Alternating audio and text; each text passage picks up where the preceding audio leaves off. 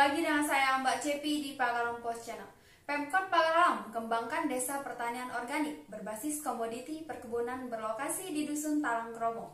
Berikut liputannya.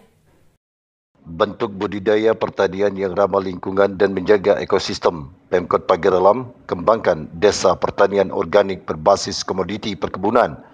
Program dari suntikan APBN ini sebenarnya sudah berjalan yang berlokasi di Kampung Kawe, Dusun Kalang Kromo, Kelurahan Bumi Agung, Kecamatan Dempo Utara. Kepala Dinas Pertanian Kota Pagar Alam, Gunsono Mixon SAMM melalui Kabit Produksi Tanaman Perkebunan Diki Herlambang SP. Penerima bantuan ini sudah di SK-kan oleh pihak Dinas Perkebunan Provinsi Sumatera Selatan. Saat ini persiapannya sudah dilakukan penetapan calon penerima dan calon lahan pada tahun 2020.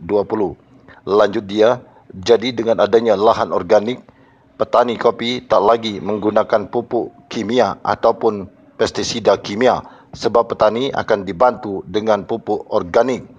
Tidak hanya itu, sejalan dengan adanya program ini juga berkolaborasi dengan bantuan Dinas Perkebunan Provinsi Sumatera Selatan, yaitu kelompok ini juga mendapat bantuan usaha peternakan berupa kambing sebanyak 25 ekor. Sementara itu ditambahkan Ketua Poktan Bina Usaha 2 Sulaiman mengatakan pihaknya sangat menyambut baik dengan adanya program Desa Pertanian Organik berbasis komoditi perkebunan yang diterima kelompoknya Edo Pagar Alam Pos Channel.